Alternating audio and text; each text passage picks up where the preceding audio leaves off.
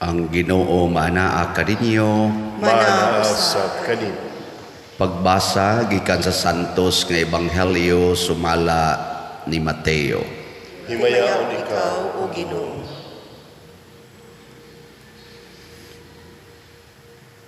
Si Jesus misugilo ni ining sambingay ngadto sa iyang mga tinunan. Ang gingharian sa langit sama sa tag-iya sa usa ka parasan nga sayo sa buntag milakaw aron pagpangitag mga tao nga iyang patrabahoon. Miuyon siya paghatag kanila sa naandang suhol nga usa ka ang adlaw o gipadala sila ngadto sa iyang parasan. Sa pagkaalas 9, miadto na usab siya sa merkado ug didto nakita niya ang pipila ka tawo nga nagtindog nga way buhat. Busa miingon siya kanila, trabaho usab kamo sa akong parasan ug hatagan ko kamo hustong suhol. Ug nangadto sila. Unya sa pagkaalas 12 ug sa pagkaalas 3 mao gihapon ang iyang gihimo. Hapit na kadto mo alas 5 nga miadto siya sa merkado ug didto nakakita siya glaing pipila ka tawo nga way buhat. Siya nangutana kanila nganong giusikan man ninyo ang tibuok adlaw? Sila nanubag kay wala may mipatrabaho kanamo ug miingon siya kanila kun mao kana trabaho usab kamo didto sa akong parasan sa pagkasaumsum na ang tag-iya miingon sa iyang kapatas. Tawga ang mga mamumuo ug hatagi sila sa ilang suhol. Unaha pagsuhol kadtong ulahing gipatrabaho ug ipaulahi kadtong unang gipatrabaho. Ang mga tao nga misugod pagtrabaho sa alas 5 sa hapon gisuhulan og usa ka dinaryo ang matag usa kanila busa sa pagduol na sa mga tao nga unang gipatrabaho nagtuo sila nga labaw pa ang ilang madawat. Apan ang usag-usa kadila gihatagan usab og tagsa ka dinaryo. Gidawat nila ang ilang suhol ug nagbagutbot sila batok sa agalon. Miingon sila, kining mga tawhana nga ulahimong gipatrabaho, nagtrabaho lamang sulod sa usa ka oras, samtang kami nagtrabaho sa tibuok adlaw ug napagba sa kainit. Apan bisan pa niini imo silang gihatagag samang suhol nga imong gihatag kanamo. Ang agalon mitubag sa usa kanila. Migo, pamati. Wala ako maglimbong kanimo kay miuyon ka man sa suhol nga usa ka dinaryo ang adlaw. Karon dawata ang imong suhol ug pauli sa inyo. Maoy akong gusto nga kining tawhana nga ulahing gipatrabaho hatagan sa samang suhol nga akong gihatag kanimo. Wala ba di ay ako'y katungod sa paggamit sa akong kwarta, sumala sa akong gusto, o nasina ka ba kay ako manggihatagon man. O gitapos ang sambingay sa pag-ingon, busa kadtong naulahi, mahiuna, o kadtong nahiuna, maulahi ang Ebanghelyo sa Ginoo. Daigon ikaw, o Kristo. So mga igsuon, ang Ginoo matod pa sa atong unang pagbasa, may desisyon nga dili dili na niya ipiyal ang iyang mga karnero sa mga magbalantay kay Naglagot siya tungod kay imbis bantayan gi pangaon naman hinoon sa magbalantay gipang-ihaw man.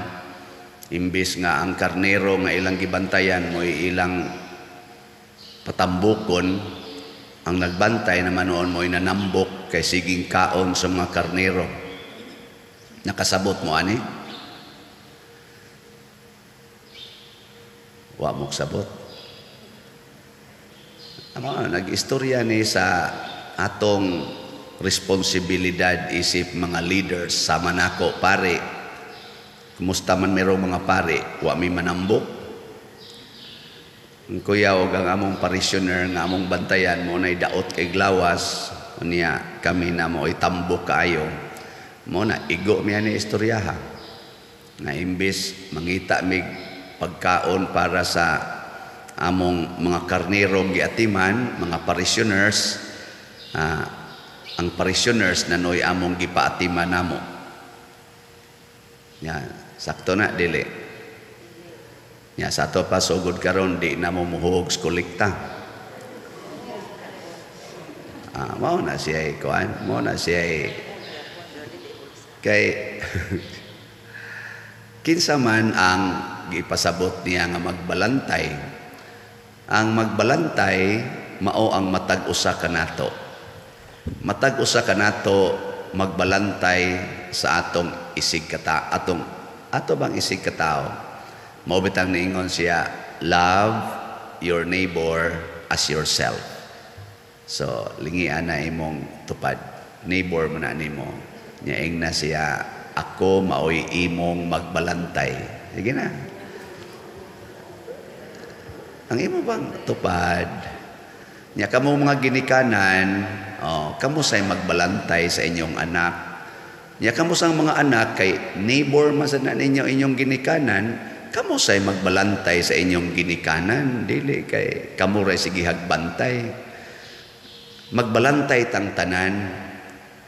Mo na isigtag paningkamot nga ang matag usa nato ma marelax o malipay o matabangan ang panginhanglan kada adlaw. Kung mauni ang paradigm nga atong sundon, makaingon kita nga ang Ginoo mo'y nagbantay nato. Kaya nga naman, kaya ang Ginoo naaman sa matag usa nato. Ni ato siyang tagaag higayon nga ang iyang kinaiya mao'y mugawas Di, murag ang ginoo mo'y nagbantay nato. Nya kung ang ginoo na'y magbantay nato, matod pa sa atong tubag sa salmo, unsa to? Magbalantay ka na ako ang ginoo. Wala na. kanang hahanapin pa. Magbalantay kanako ang Ginoo, wala na'y magmakulang pa kanako. Imagine na unsa pa may kuwang. Wa kay bugas, muduol na ka ng imong tupad. Na, kay gamayng bugas diha. O na ana.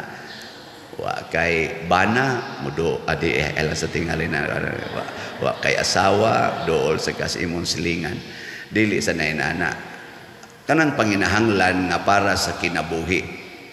Ana. Magtinabangay ba? Mo bitang niingon si Kristo nga wa gid siya sugo nga pag inutangay kamo ang iyang sugo pag hinatagay nya kung maghinatagay ta hinatagay tag pagkaon hinatagay ta og kaning luna nga kapuy-an hinatagay ta og agianan ana hinatagay ta og mga tanom hinatagay ta og sana sa makita pa lang na siya. Hasta trabaho. Mo nagipakita sa Ginoo ang kinaiya niya diri sa atong ebanghelyo. Nga kung sundo ni nato nindot yun kaayo. Unsa may kinaiya niya di siya gusto nga dunay tao nga mag-standby. Ano bang di siya gusto nga dunay tao nga idol ang kinabuhi kanang ga-standby lang. Tagaan gyud og panginabuhi. Isa sige trabaho mo sa kumparasan. Trabaho mo dito. Ana tagaan gyud kanus aman maguba ang planos Ginoo kon kita nga gitagaan niya sa kahigayunan nga makabaton og panginabuhian mahimo ng self-centered. Ang ato ng kaugalingon mo'y atong hatahalaran sa atong pagtrabaho. Ano bang mo eskwela ko para sa akong kaugmaon. Kanag yung mga word nga ingon ana ba? Paeskwelahon ko ni akong mga anak alang sa ilang kaugmaon. Ah, mao na mga buangon. Ingna nga mo eskwela ko alang sa kaugmaon sa akong mga silingan. Oh, di ba? Kanindot ana. Paeskwelahon ko ni akong mga anak para sa kaugmaon, maayong kaugmaon sa katilingban. Kay kung mag-standby ning akong mga anak, makadaot sa katilingban. Oh, di ba? Mo na inyong ginahon na ron, mga ginikanan. Tubag. Ang uban, mo abroad ko, mo abroad ko, kay pertim paita din sa Pilipinas, mamatay ta. Matay.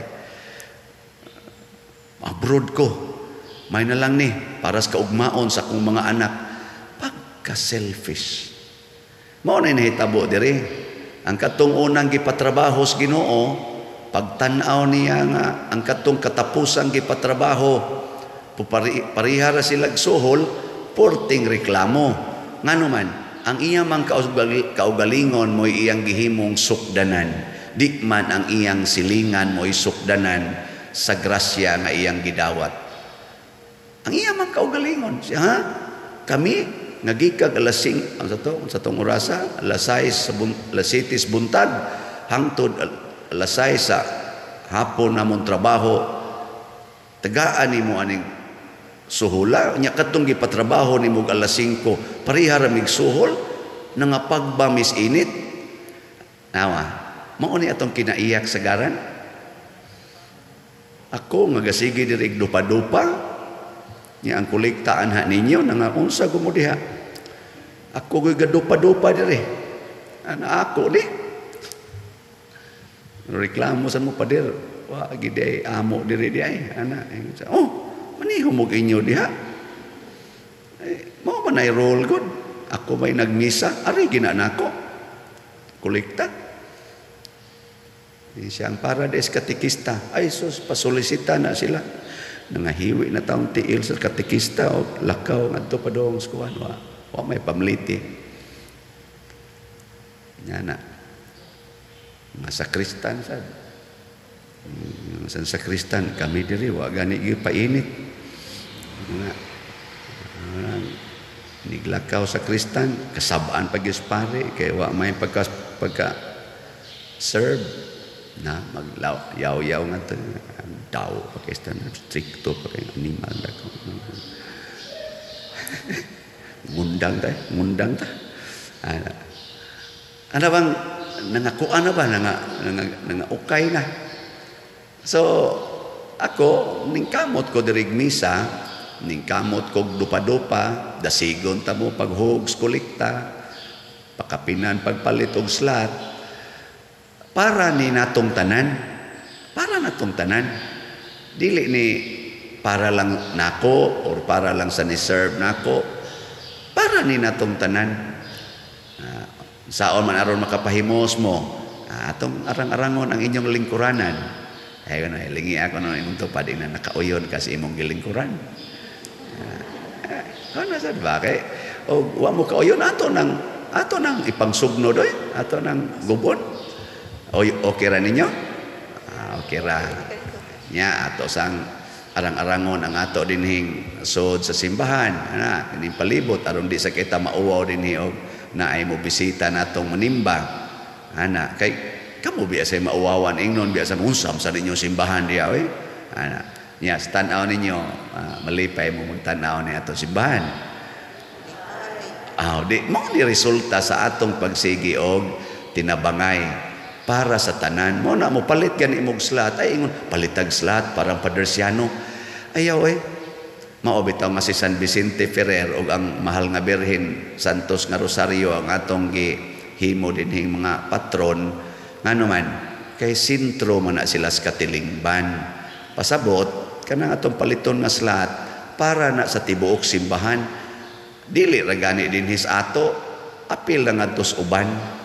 Pasabot ang gusto des Ginoo mahimot ang maayong magbalantay katilingbanon ang atong panglantaw dili individual dili kaugalingon katilingbanon ug maunay atong ipangandoy sa atong mga leader sa kalibutan katilingbanon muna ang Russia ang iyang gihunahuna ang iya namang standard ang Ukraine ang iya masang standard nangaguba na karon. Ug naapay daghang mga nasod nga nagsunod nga gubununo na sad sa gubat. Tungod lagi kay ang ilang kaugalingon mo gilantaw. Nganong nagsigi man taghimo ani mga armas nga purting mga ngilngigan mga armas para ipatay. Gasto og binilyon binilyon para sa mga igugubat nga mga kahimanan. Para unsa man na? Para sa kaayuhan sa katilingban o para sa kaugalingon? Kaugalingon. Mauna peligro kay nistanan karon magsugod sa atong klase. I hope ang mga educators ato mga teachers mga professors i-inculcate unta ni sa kinabuhi sa mga estudyante kay mga estudyante karon selfish na sad kaayo. Gitudluan anang cellphone. Sige nalagtan-aw anang cellphone. Di na mo mind sa iyang ginikanan sa iyang igsuon sa iyang silingan. Hasta gani pare mo abot ngadto sa balay di nakabaong mo grade sa pare. Sige na lang atubang sa computer. Ana sige na lang. Ang mo great ang katong mga tiguang moy mo amin. Ang mga batanon sige lang di gyud mulingi di gyud mulingi kung, kung ano badlungono na kaayo, mura silang mga out of this world. Tinudanay ang mga batasan ron kasagaras mga batanon, di inon kay tanan. Mura sila wa aning kalibutan na. Di sila kay bawang mo mulihok kanang basic etiquette kung naibisita sa balay na nagsigi lagyak ka hapit gani di mo wa gyud kaingon ko hain naman ning ilang Kitas una og naay mo usi ganing iro gani wa naman. Hipos dayon na tanan. Halala na itaw. Ah, bisita. At tubang na yung mga ginikanan. Kita sa diris daplin formal kay mga naong. Badlis ang sipon diri ari. Ana. Pero formal kay mga naong mo kuan gyud. Pero karon mga batanon Jesus. Ako tupad kog lingkod na adas daplin sa supag gasigig anak tupad ko lingkod mahiri gud gamay iyang lawas. Anap sige lang yapon wa gyud di gyud mo tagad. Unya og di ni sila tudloan na kini ang atong kinabuhi is social dili lang individual. Dili na ni sila kamaong mo care sa society.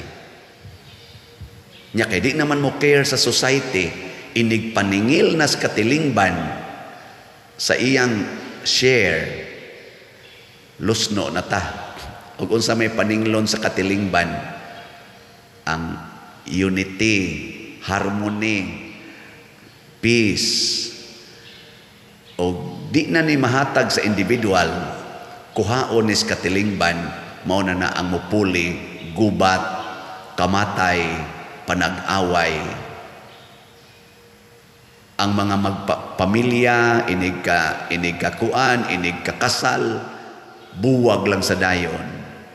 Nga naman, di man ka maumuhatag, pangkatilingban, niya ka ng pamilya, ka, pangkatilingban mo na, niya kining kasigi regduwa aning cellphone, oy, koto bragin na sa sex. Ay sige, sa nagtanaw porn diha. Ah, koto bra na sex, ikaw na ilami, ah, buwag ta pariharasan na sa cellphone ug di na ti ka ganahan. Uh, i-unfriend ti ka i-block ti ka ana. And that is now the paradigm. Anya di ka maningil ang katilingban ana. Maningil.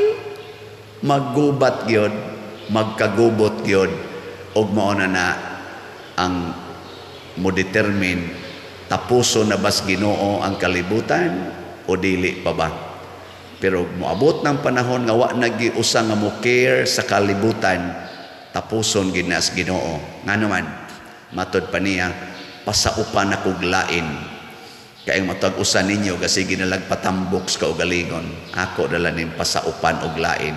Wa mo'y kapuslanan. Mo tong niingon siya diri, Hoy migo, sige kagyaw-yaw diha. Ako man ni.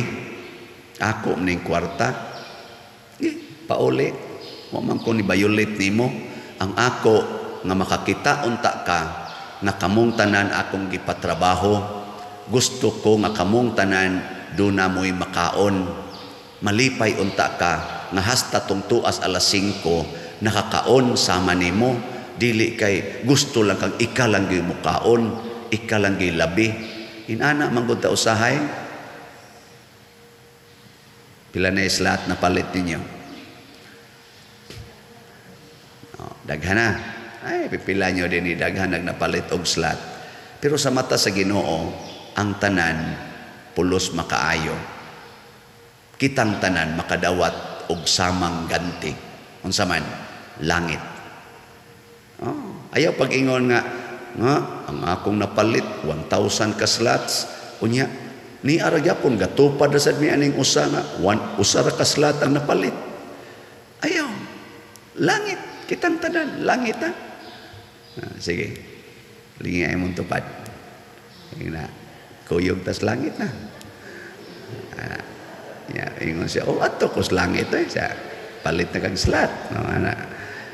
So, salamat kaayo kay gahapon, ang ato nang na-record, ang atong slat na halin sa DOPS, niabot na og 2,309 ka slots. Oh, pa. So, at least, nanatay, nanalay 52,691 kuwang. Ah, kuwang naman. ah, oh, kuwang, wa pa mahalin. So, sige lang kitagpalit para nis katilingban. Practice-practice ni ako mong gitudluan nga mahimot ang katilingbanon sa paggamit sa atong bahandi. Ako sad nagtudlo sa ko sa kong kaugalingon nga niining mga madawat na kong mga stipend o uban pang mga hatag mahimo sad kong katilingbanon dili kaugalingnon ang akong hunahunaon. Magtinudloay ta magtinabangay ta og atong tabangan og pahimos ang mga grasyang gihatag sa Ginoo nato karong panahon na ato ning buhaton kay ang kalibutan giharian na sa mga demonyo nga kinaiya. Individualistic personalistic self-centered nga paningkamot. Ato atong bawion ba kitang mga Kristiyanos ipakita nato na dili ta ingon ni ana nga mas malipay ta kun kitang tanan dunay makaon malipay ta kun kitang tanan magdungag pahimos sa langit nong mga bahandi